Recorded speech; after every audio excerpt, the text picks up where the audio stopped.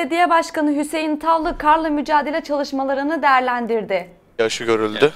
Ekiplerimiz 7-24 hiç durdurmaksızın çalıştılar. Evet. Şu anda çalışmalar nasıl gidiyor? Bunun hakkında sizden ufak bir bilgi alalım. Öncelikle karı esaret değil nimet olarak gördüğümüzü ifade etmek istiyorum. Biliyorsunuz bu hem hemşehrilerimiz hem tarım işiyle uğraşan çiftçilerimizin özellikle beklediği bir şeydi. Yaklaşık 2015 yılından bu yana da böyle ciddi manada bir kar yağışı bölgemizde pek olmamıştı. Allah'a şükürler olsun güzel bir kar yağışı gerçekleşti. Şimdi bunu da sıkıntıya dönüştürmeden vatandaşlarımızın da ulaşım noktasındaki sıkıntılarını gidermek için üst seviyede hem Büyükşehir Belediyesi olarak hem ilçe belediyesi olarak gayret içerisindeyiz. Bunu da Cuma günü gece başlayan kar yağışı şiddetini artırarak cumartesi ve pazar günü hiç ara kesintiler olmak üzere ama şiddetli olmak üzere ara ara da devam etti. Açtığımız yolları tekrar açmak zorunda kaldık. Onun için de en önemli dikkat ettiğimiz konulardan bir tanesi ana arterlerimizi devamlı açık tutma gayretiydi.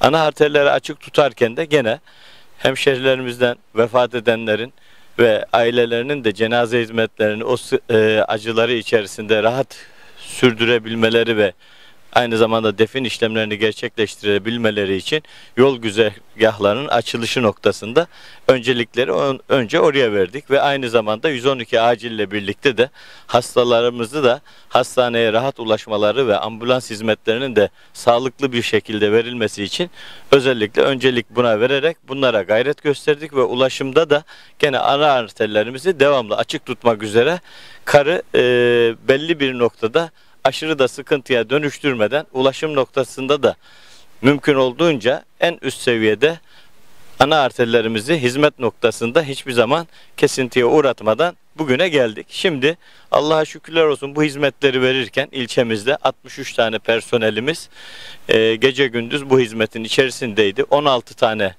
sahada e, cisibimiz vardı yani e, kepçeler gre, e, grader olarak da 7 tane graderimiz gene bu hizmeti veriyordu. 3 tane loderimiz gene sahada bu hizmeti veren ve 2 tane de kar küreyici olmak üzere 3 tane kamyon olmak üzere sahada bu yol açma noktasında çalışma ekiplerimizin içerisinde bulunan ekipmanlarıydı. Bu ekipmanlarla birlikte şimdi ana arterlerin dışında artık şehrimizin, ilçemizin ara sokaklarına da girmeye başladık. İnşallah onlarda da eee, okul biliyorsunuz bugün tatil.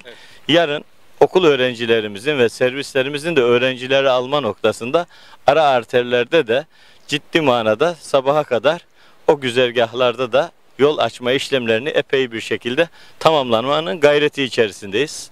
Şehir merkezinde de insanlarımızın, yayalarımızın kaldırımlarda vesairede ayaklarının kaymaması için özellikle onların da dikkatli olmasını bizler de bu noktada kaldırımların üzerindeki karları da temizleme gayreti içerisinde olduğumuzu ifade etmek istiyorum. Peki çok teşekkür ederiz başkanım. Teşekkür ediyorum sağ olun.